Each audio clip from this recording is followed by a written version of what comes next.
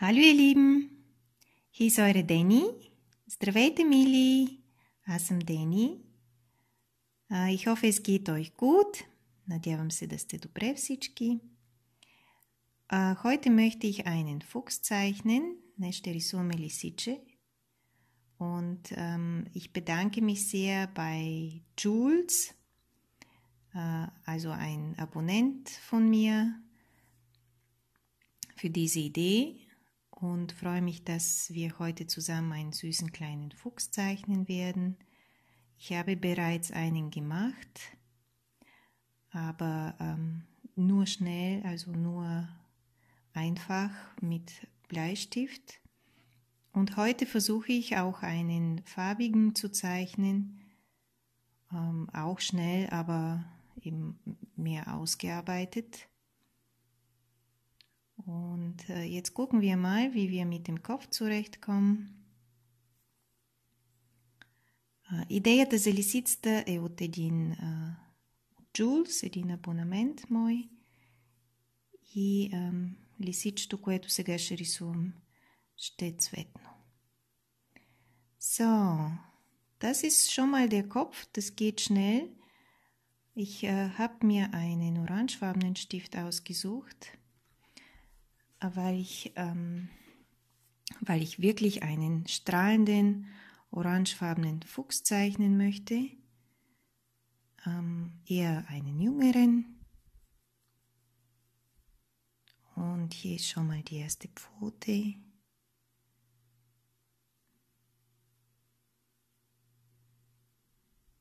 Ich hoffe, ihr seht alles richtig. Wie gesagt, es ist ein kleiner Fuchs. Entschuldigung. Und hier ist die zweite Pfote. So, und hier geht es weiter mit dem Rücken. Hier machen wir, also die Pfote geht so hoch, das Bein. Und hier haben wir auch relativ schöne, ähm, weiß, also relativ schönes weißes Fell. Und hier geht es weiter. Dann haben wir hier Po, Bein.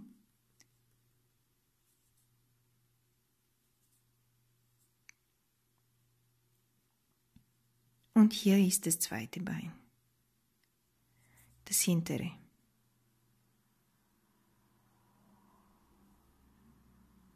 So, und äh, hinten genau kommt das, jetzt kommt das zweite Bein. Also er ist ein bisschen verdreht. Und hier ist auch sein super hübscher, schöner Fuchsschwanz. So, und das ist jetzt grob mein Fuchs. Ist, ist schon fertig. Dann zeige zeig ich euch jetzt, wie ich die Augen mache. Die Augen vom Fuchs haben ja diese Form, die leicht so nach hinten geht. Wunderschön. Und das Interessante ist, dass ein Fuchs selbst so wunderschöne braune Augen hat, die fast schon gelb wirken, also gelb-orange. Und äh, das versuche ich hier auch so zu machen.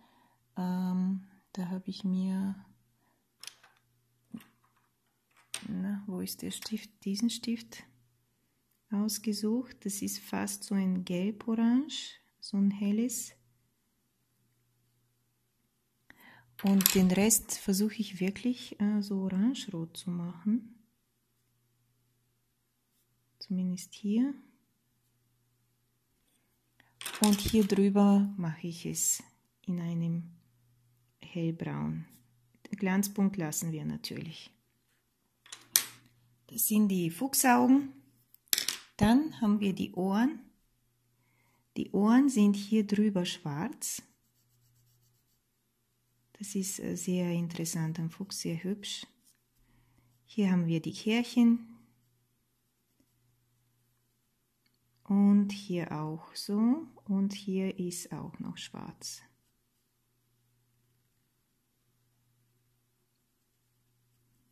Also das Ohr hinten ist schwarz gefärbt.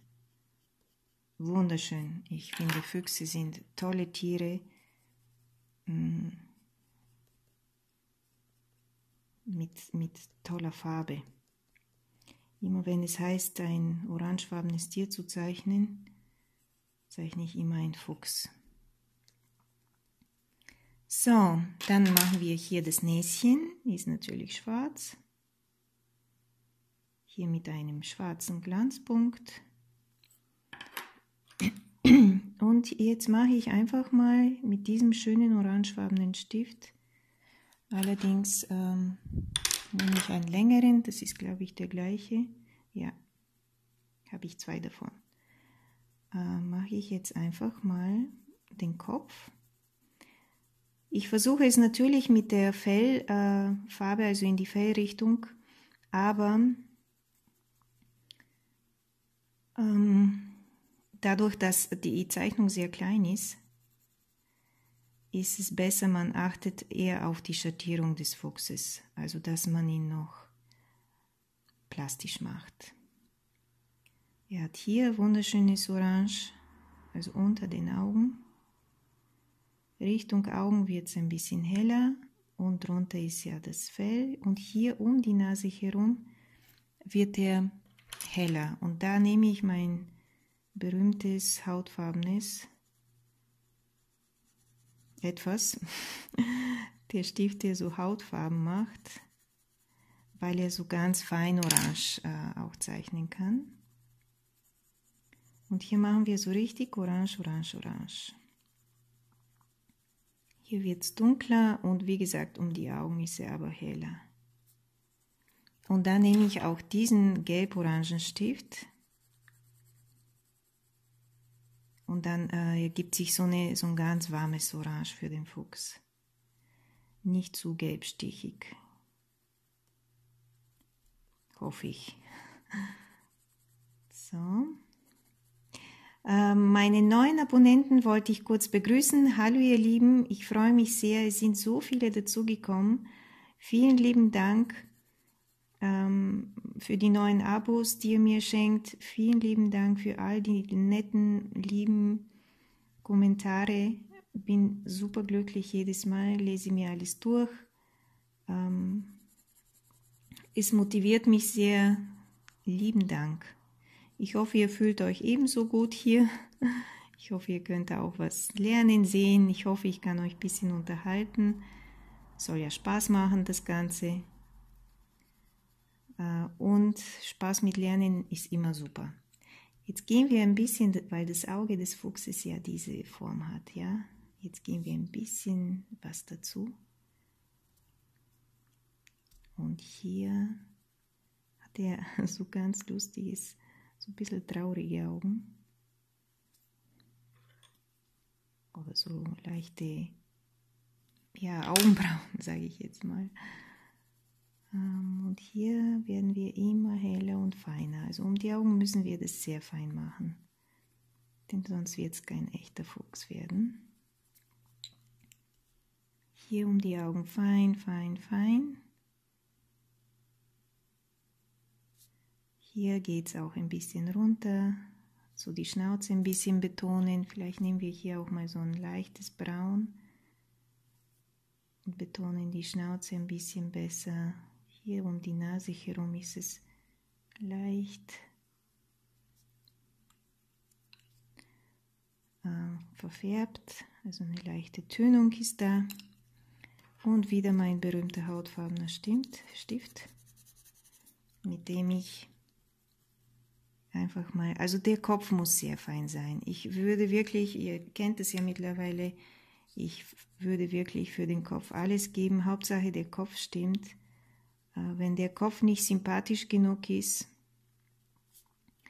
kann man praktisch den Körper vergessen. Also es ist immer wichtig, auch bei mir in der Illustration, dass der Kopf sympathisch ist, dass er freundlich guckt, dass nichts irgendwie zu ja, gruselig, zu alt oder zu unförmig oder zu irgendwie aussieht.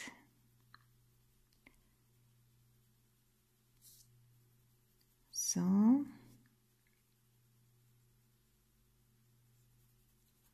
Ja, also langsam haben wir einen Fuchs, oder? Noch ein bisschen hier. Und noch ein bisschen hier. Gut, dann lasse ich das jetzt erstmal und mache den Körper weiter. Da ich ähm, ja doch einiges noch vorhab. So, hier werden wir ein bisschen kuscheliger und gröber. Und hier drunter muss ich äh, leider auch ein Grau verwenden. Ich mag nicht so gern Grau. Aber für den Schatten ist es besser. Denn unser Fuchs ist ja auch haarig. Aber trotzdem, na jetzt, trotzdem möchte ich hier dieses Fell, das er hat, äh, recht weiß halten, also nicht in grau. Hm, das sieht schmutzig aus, finde ich immer, wenn man, aber die Schnauze gefällt mir noch nicht so ganz. Hm, muss feiner sein.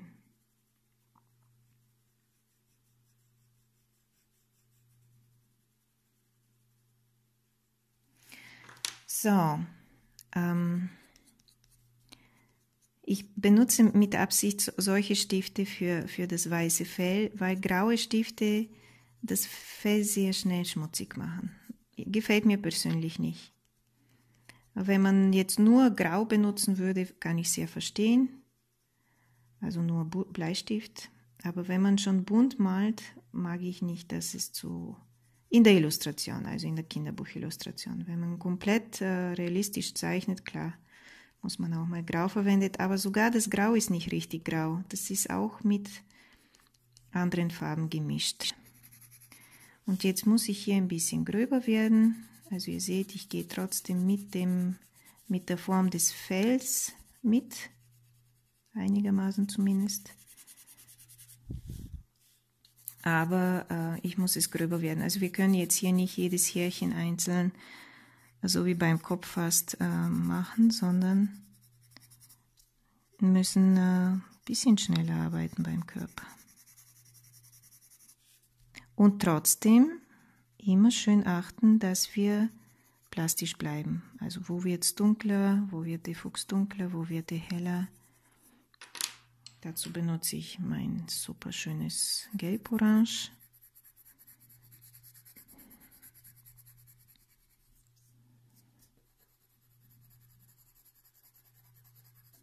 Und hier wird der Bauch auch heller. Also unterm Bauch ist er auch eher weiß. Was heißt unterm Bauch? Am Bauch. Hier können wir trotzdem noch ein paar Härchen betonen. Das ist so besser für, fürs, für den Kontrast. Also dass der Kopf ein bisschen besser abgesetzt ist vom Körper, dass man so leicht auch erkennt. Hier hat er natürlich ein bisschen ein Maul, muss man ein bisschen fein betonen. Aber der Rest ist sonst okay. Und hier ein paar Härchen kann man immer noch. So, aber dann geht es weiter mit diesem hier. Äh, hier ist er auch, da hat er auch noch weiß. Und die Beine werden dunkler.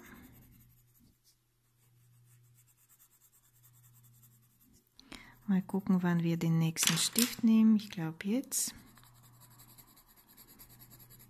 Die Beine werden dunkler. Und hier das Fell ist so richtig schön orange. Für die Beine nehme ich jetzt ähm, braun, obwohl ich äh, teilweise auch schwarz nehmen muss, denn äh, die Pfoten selbst werden auch äh, hier unten auch schwarz. Zumindest sieht es so aus. Und für den Kontrast selbst ist es auch hübsch. Das ist ein anderes Braun jetzt. Ist aber nicht besser. Lasst euch nicht hier durcheinander bringen. Ah, das war schon das, dieses Braun hier. Und wir beenden mit diesem Stift ein bisschen Form geben. Und das war's schon. Also für die Pfote finde ich, muss man jetzt nicht so viel Zeit verschwenden. Machen wir lieber die nächste, also die ist hier auch also braun.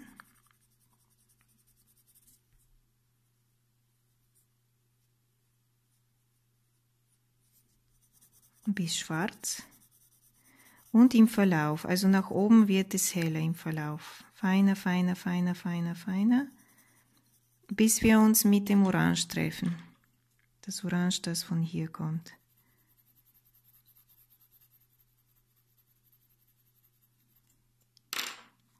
Das Gelb-Orange hier.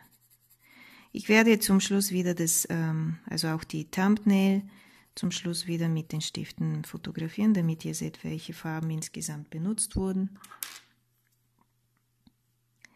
Ihr müsst nicht die gleichen Stifte wie ich verwenden. Natürlich ist es super, wenn man Polychromos hat. Das sind nun mal saugute Stifte, muss ich sagen. Also ich äh, zeichne am liebsten mit dem Polychromos. Da gibt es eigentlich, äh, die sind konkurrenzlos, aber für feine Schattierungen bringen andere Stifte dazu. Wahnsinnig viel, finde ich.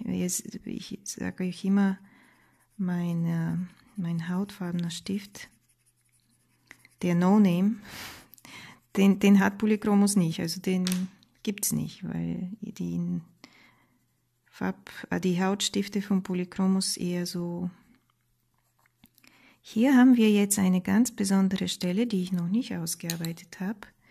Denn äh, also das Bein selbst ist ja reliefartig. Es wird, ähm, es fängt mit Weiß an, also hier geht Weiß und dann mache ich ein paar Härchen so. Und der Bauch. Aber trotzdem hier haben wir ja diesen Winkel.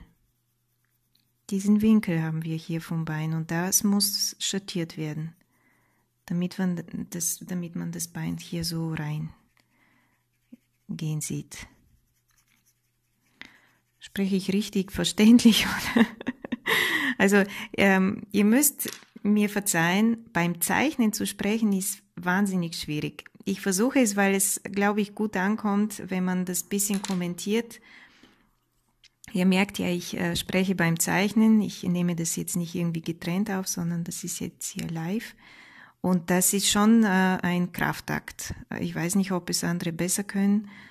Ich äh, habe das bis jetzt noch nie gemacht. Ich schweige komplett beim Zeichnen und ähm, bin auch eher ja ein bisschen gestresst, sage ich mal, leicht gestresst, wenn wenn ich mich beim Zeichnen unterhalten muss. Hier ist es natürlich was anderes, weil ich bestimme, ich bestimme, was gesagt wird. Das heißt, äh, Ihr müsst halt zuhören. ähm, aber ansonsten spreche ich nie beim Zeichnen, weil das bringt mich total aus dem Konzept. ähm, man muss sich auf die Zeichnung konzentrieren und ich glaube, dass da im Gehirn äh, zwei verschiedene Areale momentan, also Sprache und künstlerisches beziehungsweise Sehen und künstlerisch arbeiten, ist, glaube ich, das, das geht zusammen nicht. Das sind zwei verschiedene Hirnareale. Und äh, das ist anstrengend. Also von daher kann es sein, dass hier und da mein Deutsch unter aller Kanone, unter jedem Niveau ist. Äh, verzeiht mir das bitte. Ich kann es nicht besser. ich kann es besser, wenn ich nicht zeichnen würde, aber ähm, und manchmal ist das auch nicht wirklich das mein Argument. Aber in dem Fall beim Zeichnen und Deutsch äh, oder auch andere Sprache würde mir genauso schwer fallen. Разказвам в момента, че ми е много трудно да говоря и да рисувам едновременно. И, и, и на два езика да сменяме още по-трудно.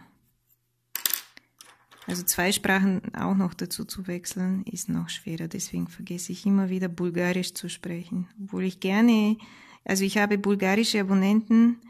Благодаря на всички, които са тук и са ме абонирали и ме гледат от България. Google, YouTube ми казва, че има българчета тук. Кой какво е, не знам, но Знам, че има от България хора, които ме гледат и за това ви поздравявам най-най-сърдечно. Радвам се, че сте тук. Но за съжаление не говоря толкова много на български, защото германците са повече от 85%. които ме гледат и за това го правя на немски. Но да знаете, че си мисля за вас. Also die deutschen Abonnenten sind 85 Prozent. Von daher wähle ich natürlich Deutsch zu, zu sprechen. Ich, äh, aber ab und zu was Bulgarisches zu sagen ist sehr fein, finde ich, weil, weil ich eben bulgarische Abonnenten auch habe. Und das finde ich sehr lieb. So, ihr Lieben, also beim Plappern sind wir aber weitergekommen, kann das sein? Wir haben jetzt hier auch dieses schwarz-bräunliche Bein mit dem orangefarbenen Superstift. Und ich würde sagen, das wird ein süßer Fuchs langsam mit vier Beinchen. So sieht es aus. Plapper, plapper, aber es geht voran. Mein super cooler Haut. Seht ihr, wie der hautfarbene Stift das Ganze so, ja, leicht verschmiert. aber so feiner macht. So, und jetzt, was hat ein Fuchs, was alle anderen Tiere nicht haben?